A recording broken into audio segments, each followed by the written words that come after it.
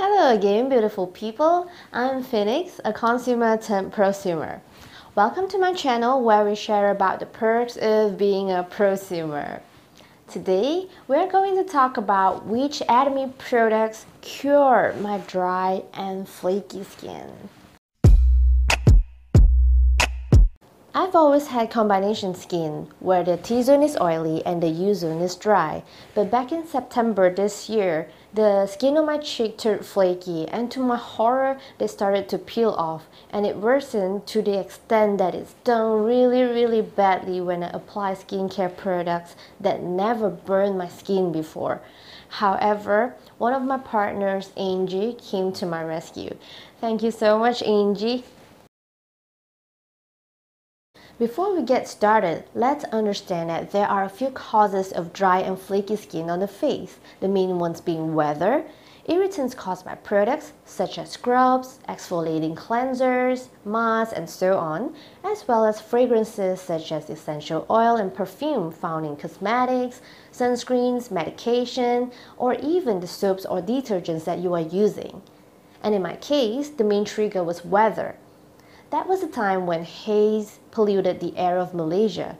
The air was dry and it felt as if moisture are being sucked out straight from the pores. But too bad I didn't pay attention to my skin. What you need to know is the outer layer of our skin contains dead skin cells and natural oils which help it hold on to water. If this layer is damaged and moisture gets out, that's when our skin becomes flaky. So I had to change my skincare routine. I had a different daytime routine and nighttime routine then. My daytime routine was simplified because I cannot irritate my skin any further or it will develop into sensitive skin which would be really difficult to deal with in the future.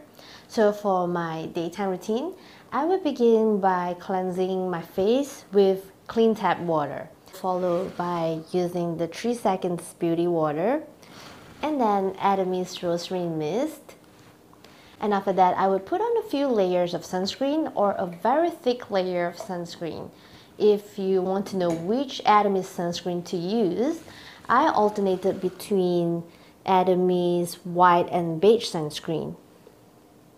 Uh, which has no specific reason, it's just due to my own preference that time. The idea here is to send lots of moisture into your skin and the sunscreen will protect your skin against UV ray damage and also the moisture from evaporation. If you are wondering why must we use two types of mist, it's simply because the two cannot replace each other. Our skin dry out in the first 3 seconds after washing our face. And as the name implied, the 3 seconds beauty water is exactly what we need for instant hydration during the first 3 seconds after washing the face before we get to reach our next skincare product. As for the rosary mist, it is very useful for lasting hydration. The 3 seconds beauty water allows skincare products to absorb quickly into the skin, which is why we use it after cleansing and before the toner. And for rosary mist, it contains functions of toner, essence, and nutrition, which helps replenish moisture, and we can use it after applying skincare products. So for my nighttime routine, I begin by using the mouth cleansing water to remove makeup, sunscreen, dirt and impurities, then the foam cleanser, followed by the 3 seconds beauty water, and some from the Absolute series such as the Absolute Toner, Ampoule to repair my skin condition, Absolute Lotion to restore skin's water and oil balance, as well as the nutrition cream. The intention here is to hydrate and moisturize. We use the 3 seconds beauty water to hydrate the skin cells, making the cells plump and bouncy.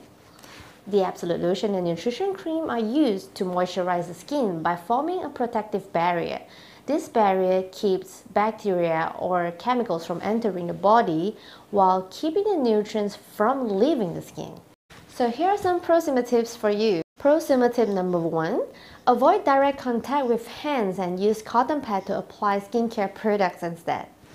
At the beginning, I was shocked to hear that because cotton pad would absorb a lot of skincare products compared to the time when I applied them directly to the face. But the prosumer in me knew that it is better to, to, do this instead of spending a fortune to go to the dermatologist if my skin condition gets worse. The logic is there are a lot of bacteria residing on our hands and we don't want to transfer them to our already fragile face. Prosumer tip number two, press gently and avoid gliding the cotton pad. This is very important to note when using the cotton pad. We must not sweep or glide the cotton pads because this action will aggravate our skin. So what we do is we put the skincare products onto a cotton pad and with gentle pressure we apply them onto our face slowly. If you or anyone you know is suffering from the same skin problems like I did, you can try the skincare regimen and please comment below so that I know your progress. As for myself, it took about 10 days for my skin to return to its previous condition, but this might be different to you because it might take a longer or a shorter time. With that being said, I hope that the information that we compiled are useful. Please remember to like this video, share it so more people can benefit from it, and please subscribe for more awesome prosumer videos. Signing off, this is Finics, the prosumer.